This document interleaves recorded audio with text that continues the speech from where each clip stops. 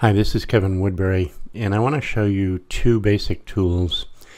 Um, I've shown you the selection tool during the session, but I'm going to do it again, and I'm going to use the polygonal selection tool. And what I want to do is move this rock out of the scene, and uh, along with this puddle of water.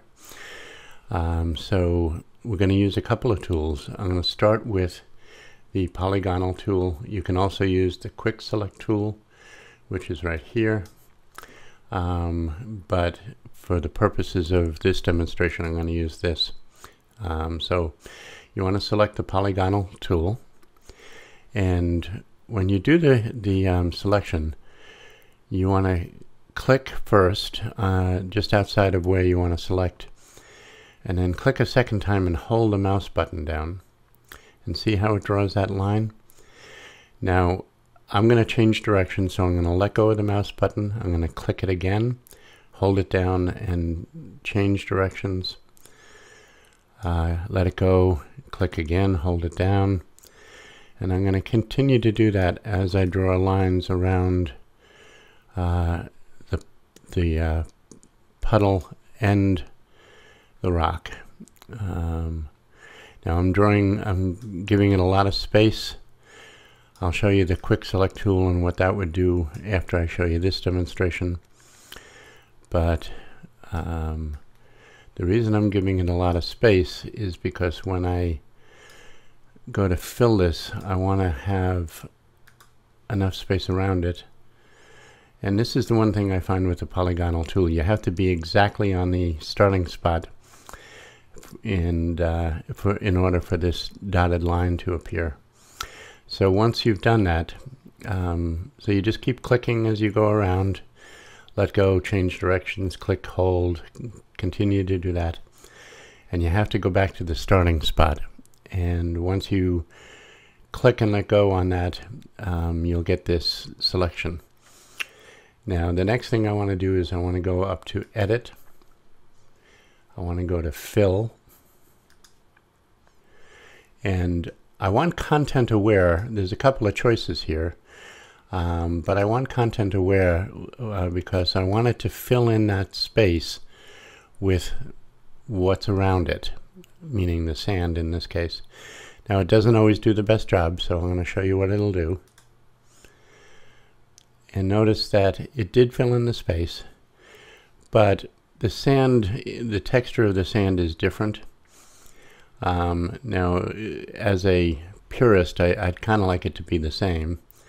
So I'm going to go ahead and hit um, Control on a PC or Command on a Mac, hold it down and hit the letter D as in dog, and that deselects it. So notice the rock is gone, but you can tell that something has happened here. So the next tool I'm going to show you is the clone tool and it looks like a rubber stamp. So I'm going to click on that. Um, and I want to make sure that the opacity and the flow is 100%. Um, making sure that it is, I'm going to go ahead and I'm going to probably select up here.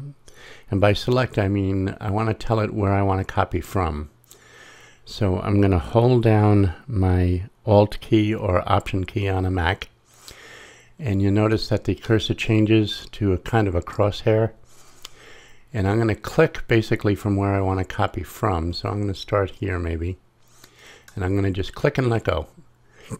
So I hold that alt and option key down. I click on my mouse button real quick. That sets the beginning point where I want to copy from. Then I'm going to go to where I want to start the copy to occur. And I'm going to click and hold the mouse and drag across that space uh, let it go, do it again.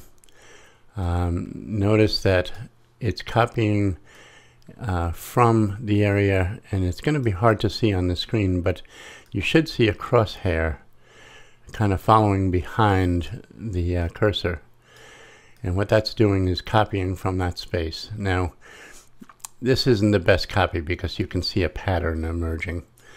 Um, so maybe I'll try this instead. I'll come down here, hold down my Alt key or my Option key, click, let it go, come up here and drag upward. And actually, I might go, uh, I don't want to go that far.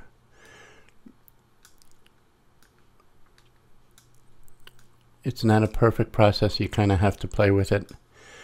But notice I'm filling in that space. Now, it, may, it looks like the sand has changed direction.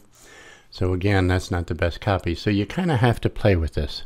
It's, it's not a perfect thing. Um, what I try to do is copy or go in the grain, the direction of the grain, in this case of the sand. This is a little better than the last two attempts. Um, and so, again, this isn't perfect, and if this were a real exercise, I would be taking a lot more time and, and doing it differently. But this is um, just copying over, not perfect by any means. I'm going to click and hold here. I do reset a lot of times. I'll do. I will reset my beginning point a number of times. So I'm going to click here again. Um, now that's by no means a perfect job, um, but at least it's a little bit more consistent than it was when I when I did the fill. So um, for our purposes, that's good enough. Um, it's by no means great. Uh, and I am a perfectionist sometimes, so uh, you know, I'm getting rid of all this. That's good enough. It's it's by no means perfect. Uh, to do it right, I'm going to have to take a lot more time because uh, sand and water and even sky, when you clone them, are very difficult because they all have a pattern or a grain and you got to be careful not to repeat that. But for our purposes, I'm going to leave it be.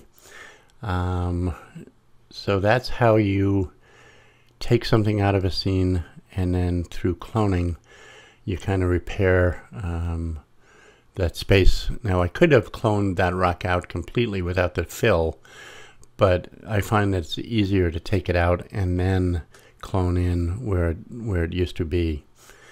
So that's Kevin Woodbury um, for uh, Twin Sons Productions. Uh, there is a story behind that, and um, I hope this was helpful.